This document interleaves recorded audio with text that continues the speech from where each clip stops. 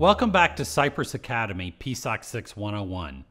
In this video, I will show you how to set up the PSOC PWMs, which we call TC PWMs, to control the servos in the robotic arm for our BLE controlled robotic arm project.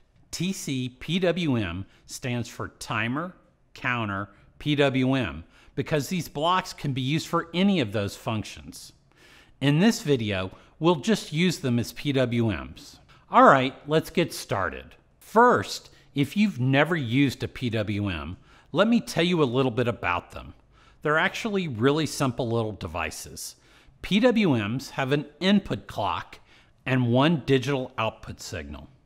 Inside of them, there's a counter and two registers. When you clock the PWM, the counter counts up. When the value of the counter reaches the value in the first register, often called the compare register, the output state toggles. Then the counter keeps counting until the value reaches the value in the second register, which is called the period, at which point the output toggles again. Now, there's a billion little variants. Sometimes the counters count up, sometimes they count down, sometimes there's multiple outputs, sometimes they're starting high, sometimes they start low, sometimes there's dead bands. Our TCPWM has all of the ones you might ever possibly want. But that is the basic idea of a PWM. Inside of the PSOC 6, there are two banks of PWMs. The first bank has 24 PWMs that have 16 bit counters. The second bank has 8 PWMs with 32 bit counters.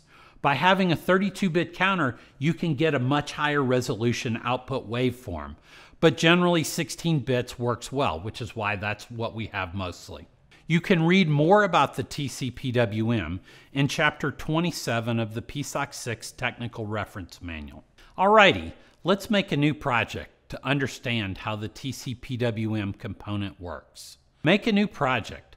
Let's call it Basic TCPWM.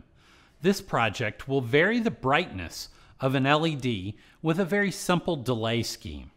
If you blink an LED fast, and I mean really fast, like more than about 30 hertz or so, your eye's not going to see the blinking at all. If you vary the amount of time that the LED is on versus the time that the LED is off, it will appear either brighter or dimmer based on that ratio, the ratio of the on time to the off time.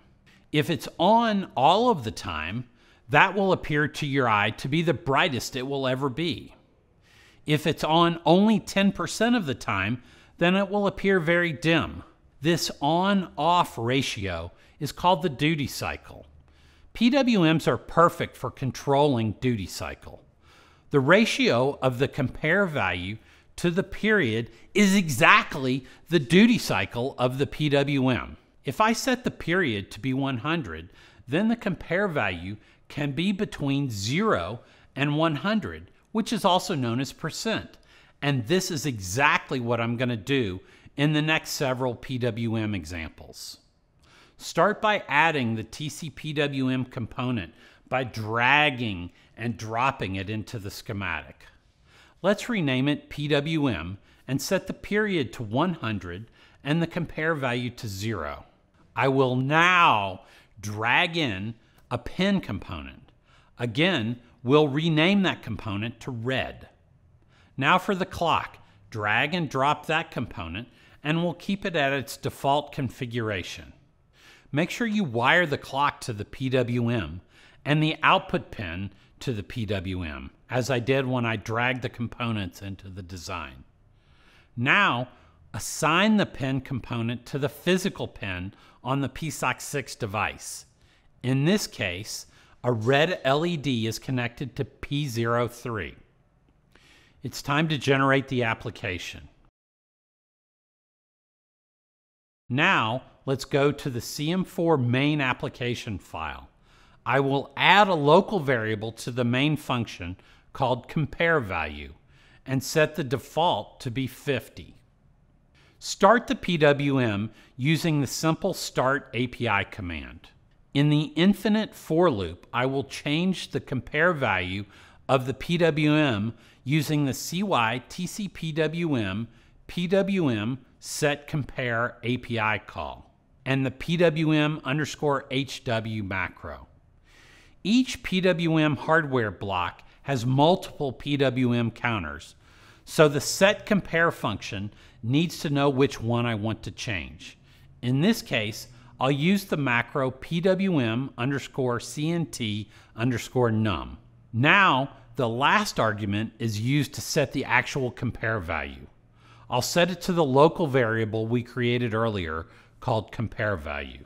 I want to increment the local variable compare value by 1 and mod it by 100 so that it counts up to 100, the maximum period we set before, and then circles back around and resets to 0.